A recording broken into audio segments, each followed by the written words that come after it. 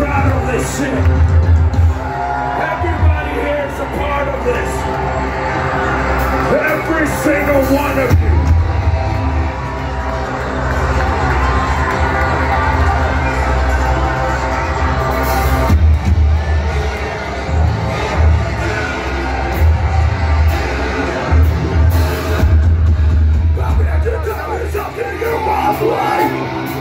You fucking hate it, there is nothing left inside.